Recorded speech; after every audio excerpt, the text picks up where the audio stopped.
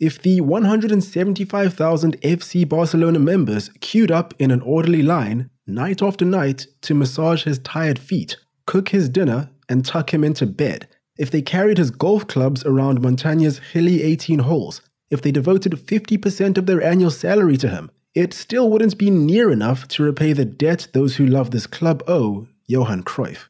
These are the words of Graham Hunter, author of Barca, the making of the greatest team in the world.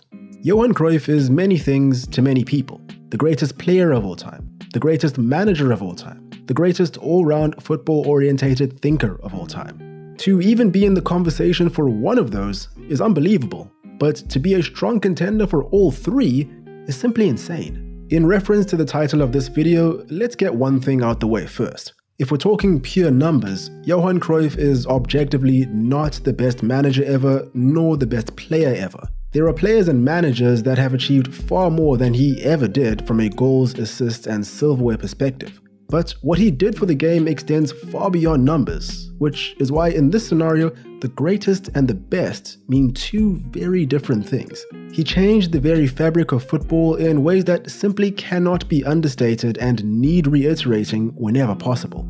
I originally wanted to make this a video on Johan Cruyff's influence on football as a whole, but the man did so much and affected so many that I thought it best to narrow this topic down into segments. And because I'm an agent of chaos, I thought why not start with his managerial career and circle back to his playing career at a later stage. So, with that being said, why is Johan Cruyff so important to football?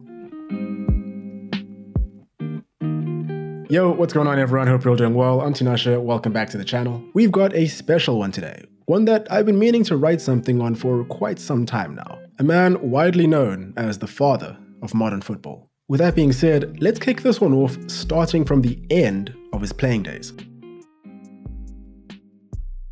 13th of May 1984. Johan Cruyff retires from professional football. Calling the career that this man had incredible would be a massive understatement nine Eredivisie titles, one La Liga title, three European Cups, a World Cup runners up medal in a Dutch team where he was the star man, winning the World Cup Golden Ball in the process, and of course, three Ballon d'Ors. The numbers and accolades alone are ridiculous, but they don't even come close to doing what he did on the pitch justice. He was an icon. In any case, that was that. The end of an era. But as one door closed, another opened. Throughout his playing career, he had gone about his business in ways that vastly contrasted his contemporaries, so much so that him not going into management would be akin to a crime against humanity. So, surprise, surprise, one year later, he did exactly that. Before we get into his managerial endeavours, I feel we have to take a brief second to go over his personality, footballing philosophies, preferred playing styles, and influences. The reason I want to get into this first is because his ideologies didn't change all too much throughout his managerial career. I mean, there obviously were tweaks, but they really did just change from team to team and based on incoming and outgoing personnel. So putting this section here means we'll all be on the same page throughout this entire story. Johan Cruyff was influenced by several individuals and philosophies through throughout his footballing journey and was an extremely critical thinker in his own right. But in this video, I want to highlight one influence in particular, Rinus Michels, a former Dutch coach and also a man that managed Cruyff throughout his playing years at Ajax, Barcelona, and in the Dutch national team. These two spent a lot of time with one another in the trenches. Michels was a strong proponent of total football, a fast paced, free flowing version of the game where outfield players are given the freedom to switch positions and roam around the pitch so long as the team maintains its tactical form.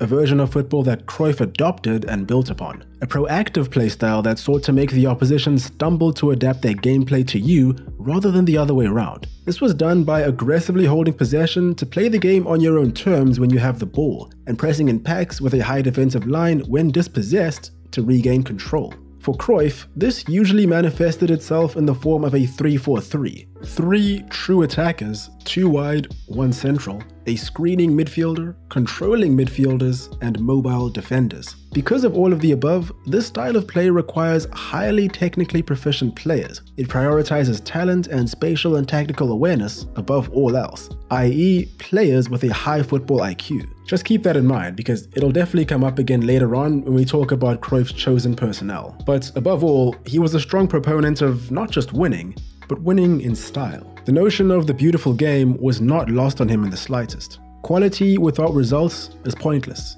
Results without quality is boring. Many people did not view football this way at all back then. Heck, many people still don't feel that way. He was on a completely different wavelength to everyone else, which also translated to him having a strong, often contentious personality, but we'll touch on that later on. On the 6th of June 1985, just one year following his on field retirement, Johan Cruyff went into management. And if you weren't aware before, you probably would have been able to guess that he started this chapter out at Ajax. He inherited a strong team and backbone in Ajax and immediately challenged for the league in his first season in charge, which was to be expected, as Ajax were the reigning champions. He managed icons such as a young Dennis Bergkamp, Frank Rijkaard, Marco van Basten, and Ronald Koeman in a 3-4-3. Uh, safe to say, it was a long day for all Dutch defenders in the 80s. Despite their obvious talent, and despite the fact that Ajax scored 120 goals with a ridiculous plus 85 goal difference in a 34 game season in 1986, they lost out to PSV, a trend that persisted throughout Cruyff's time in Amsterdam. He did win the KNVB Cup twice, as well as the European Cup Winners' Cup with them, so this wasn't a bad tenure at all. In fact, it was likely just what he needed a, if we're being honest, highly successful first foray into high level management. I only say this because, although he is an Ajax legend, most people do not associate the lion's share of this man's managerial career with the Dutch Giants. Following these three years, he was ready to make history. In 2016, Gabriel Marcotti of ESPN FC once wrote that you can separate Barca's history into BCE, before Cruyff era, and CE, Cruyff era. And yes, Barca are nearly 20 years after he coached his final game for the club, still very much in the Cruyff era. He may have been onto something. In 1988, Barcelona was significantly less than a shell of what they are today. They had won two league titles in 28 years, one of which was largely thanks to a Ballon d'Or winning year from Cruyff himself. A culture of losing and offering little to no retaliation to adversity was rife. Attendance was low. They were subjected to financial crisis after financial crisis, and the players were actively protesting against the upper management's running of the club. It was a mess. Regarding the management, this man in particular bore the brunt of Blaugrana frustrations. Josep Luis Nunez, the first ever elected president of FC Barcelona. He was in office between 1978 and 2000.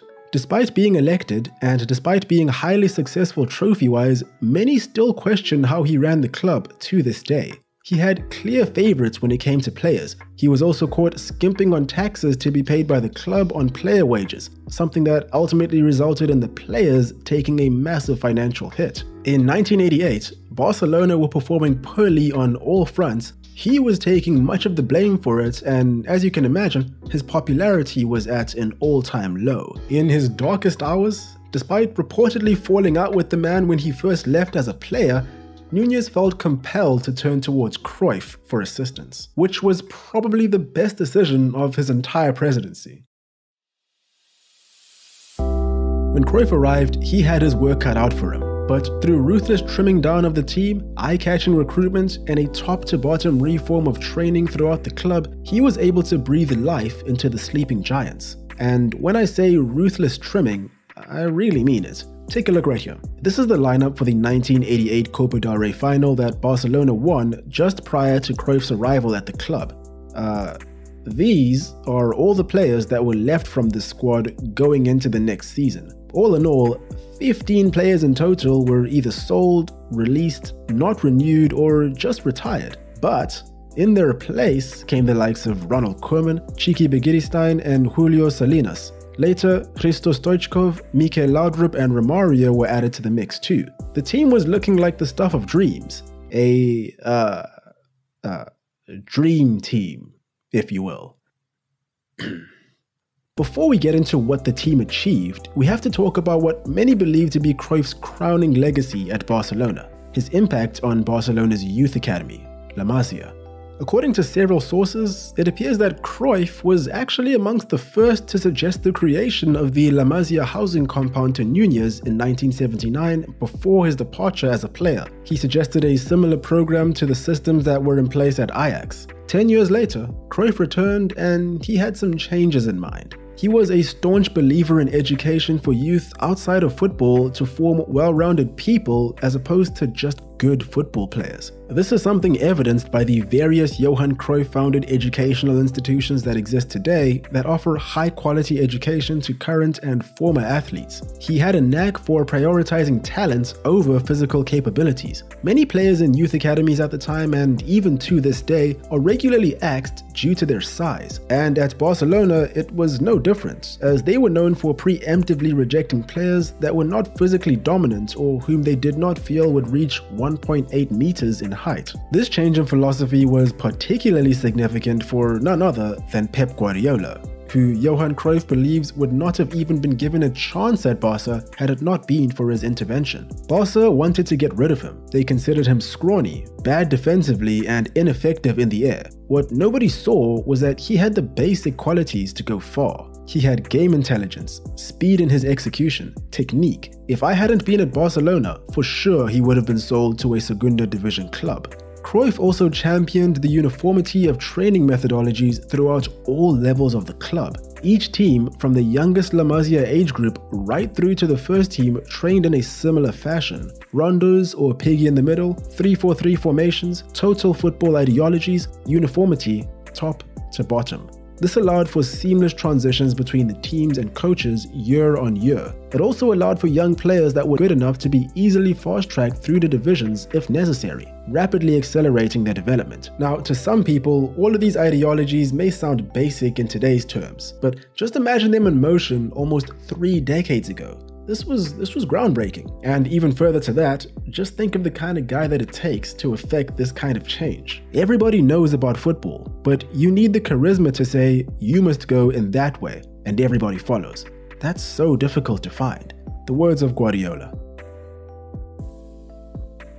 With all of these systems in place, success for Blaugrana was just about inevitable, and almost immediately that suspicion was vindicated. The second Cup Winners' Cup of his managerial career and a Copa del Rey in his first two years as Barcelona manager. A good start, but I don't think many people were ready for what would come next. The 1990-91 season was a special season. Real Madrid had won the league for five seasons in a row by this point, but Barcelona and Cruyff made sure that their time was up. They lifted the league trophy this year, and by 1994, they had lifted the trophy four times in four years, the same number of times that they did it over the 31 years prior to 1990. They won a crap ton under Cruyff and were an absolute menace to not only the league but also the continent. And speaking of which, the crown jewel of Cruyff's dream team tenure was surely the 1992 European Cup the first ever European Cup triumph in the history of Barcelona Football Club, which is a crazy thing to think about knowing what the club has become since. Playing in his preferred 3-4-3 for large portions of his time as manager, Cruyff got the best out of a group of already insanely talented players with sublime tactical acumen. And the cherry on top of the cake? Pep Guardiola and Albert Ferrer, two of the first crop of La Masia candidates to graduate, started in the European Cup final triumph and were there every step of the way throughout this period of insane success. And they certainly weren't the last to come off of Barcelona's talent conveyor belt. For Barcelona fans and everyone associated with the club, this period truly was a dream come true. Having said all of the above, like all great things, this too had to come to an end. Cruyff spent eight years as Barcelona manager and as a result of that was the longest serving manager in the club's history. That is still the case. But his final two years, 95 and 96, were a stark contrast to the first six. Barcelona were on top, but unfortunately, they were getting too comfortable. They barely won their fourth title, only thanks to a poor performance by Deportivo La Coruña in their final game of the season, where a missed penalty denied them the title. They made it to the Champions League final in 1994, setting up a showdown with AC Milan. However, Cruyff displayed something that would come back to bite him almost immediately hubris. Barca are the favourites. We are more complete, competitive, and experienced than them. Milan are nothing out of this world. Barcelona lost by 4 goals to nil. And this was pretty much the beginning of the end. Barcelona went trophyless for the next two seasons, and Cruyff began to fall out with the players and with the president. Actually, that last one isn't necessarily true. He was never chummy with the president. It was always a marriage of convenience. But by 1996, him and Nunez reached their breaking points and he was shown the door. I've only touched on this slightly, and while he was undeniably a footballing genius, uh, by most accounts, Johan Cruyff was a very disagreeable personality. He was an arrogant man, he knew he was good and was not afraid to let people know it. He rarely had pleasing words for the media in interviews. He was a believer in the conflict model of social interaction, a belief that you get the best out of people by inciting outrage, essentially triggering a fight or flight response. He was also a very anxious man, picking up smoking from a young age to deal with it, and becoming a heavy consumer in his middle ages. That was up until 1991, where the only reason he gave up was because he had to endure double bypass heart surgery. However, unfortunately, this habit likely played a large role in his untimely death on the 24th of March 2016. After a battle with lung cancer, the life of the great Johan Cruyff came to a close at 68 years of age.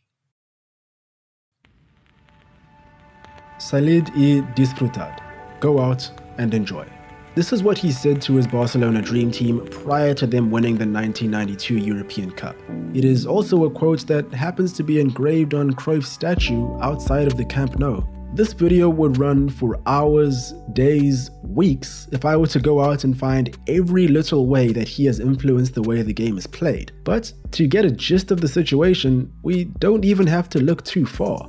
Pep Guardiola, his greatest student, is a living embodiment of Cruyff's philosophy, a La Masia graduate that managed perhaps the greatest Barcelona team of all time. A team that, among other accolades, won two Champions Leagues in three years with seven La Masia graduates starting in each of the two finals. All members of the 2010 Ballon d'Or podium were produced by La Masia, and probably the greatest player to ever live was only given the chance to play football in the first place because of the mentality, policies, and philosophy that Cruyff instilled at the club. And almost every top level manager since the 90s has been influenced by this man and the systems he employed in some shape or form. And by association, so have the players that these men have coached. Ajax won the 1995 European Cup playing an updated and amended version of Total Football courtesy of Louis van Gaal. Spain won the 2008 Euros, the 2010 World Cup, and the 2012 Euros in large part